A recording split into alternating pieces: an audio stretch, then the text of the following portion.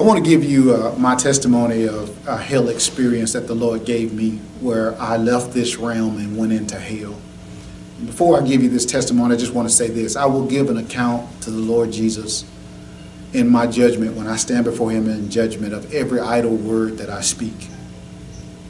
And so I say that to you to say that that I speak the truth here, I lie not.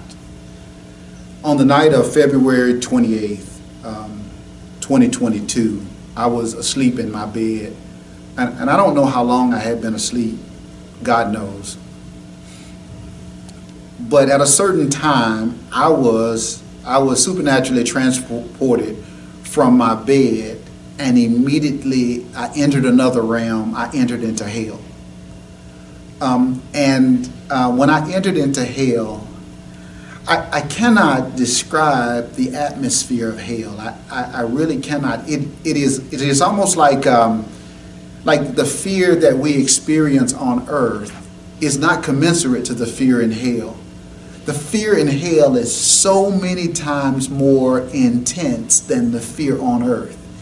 It, it was like it was like um, it was like nothing that you can describe on earth. If you could take the fear you would have if they were going to throw you to lions, it would not compare to the fear that you have in hell.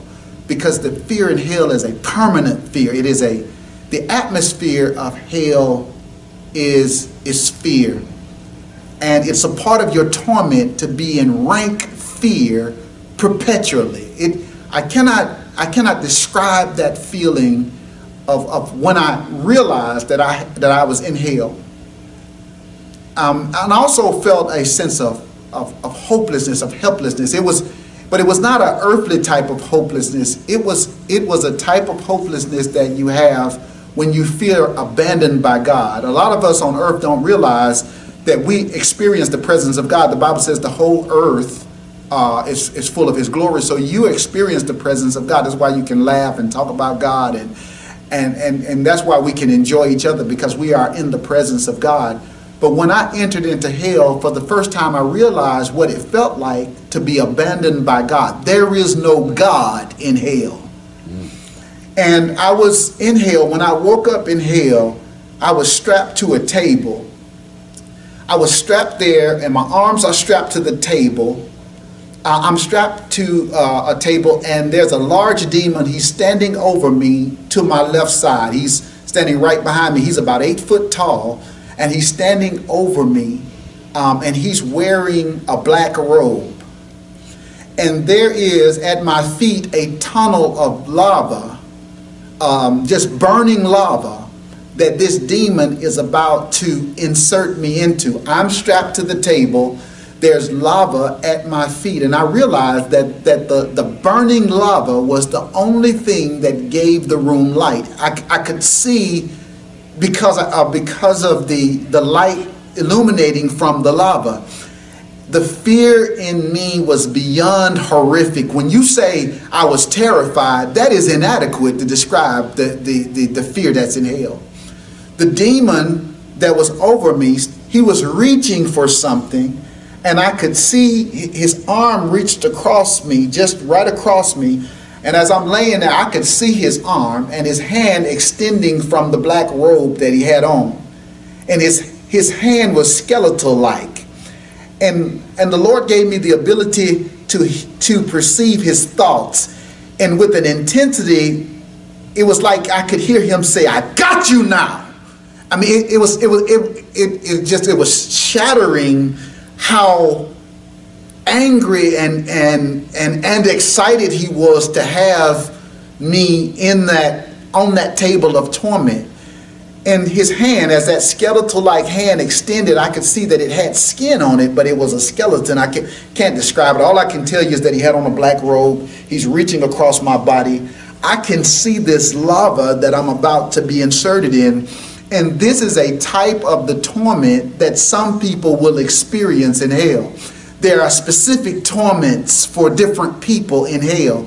There are, there are people who will be in a cage, um, you know, in a cage burning, and there are people who will experience literal tormenting things like this. And, and I'm telling you, I was so in fear, and, and, and that that feeling of being abandoned by God gripped me. And, and I was just so glad that, that, that God that God actually just let me experience it for a short period of time and then he allowed me to to to to pull out of it.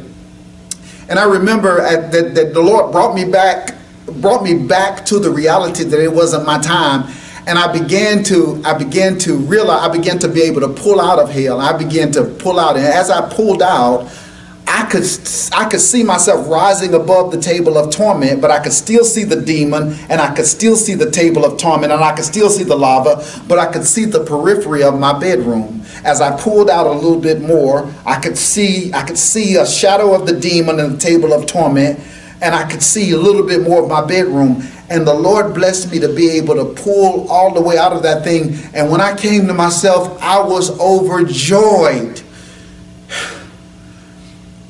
As I sat there in my bedroom, just remembering it is, is overwhelming. I'm, I'm telling you now, I'm telling you now, today is the day of salvation. I'm telling you now, the Lord allowed me to experience that so that I can tell you what hell is like. Hell is real, and you need to do everything in your power to avoid going there.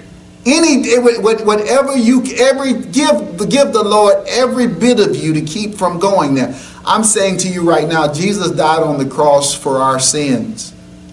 And he did and his his death is in vain when you don't live your life for Him.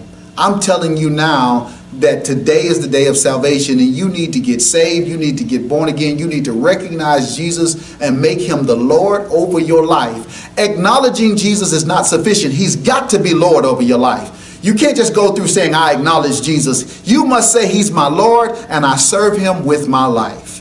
I'm telling you right now, today is the, salvation, the day of salvation, and you need to get born again.